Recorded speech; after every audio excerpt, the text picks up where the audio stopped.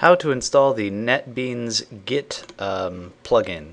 If you have NetBeans 7.0.1, then it's not installed by default. If you have NetBeans 7.2.1, you can ignore this video because it's installed by default and you can tell by going here and you'll see Git. Um, or if you click on this, you'll you can right click on it and go um, where is it? Git right there.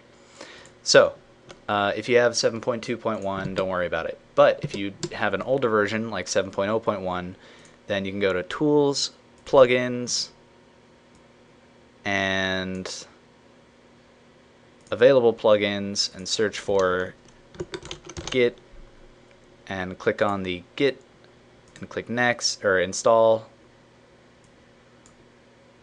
Next, Accept, Next, install, and then wait for it to install. And once you're done, you'll be able to check the same thing that you could in uh, NetBeans 7.2.1.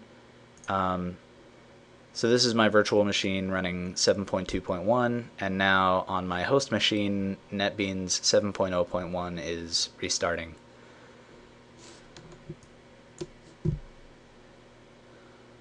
So I'll click on Team, Come on. Git, it's there. Or if I right click on this, um, Git is there.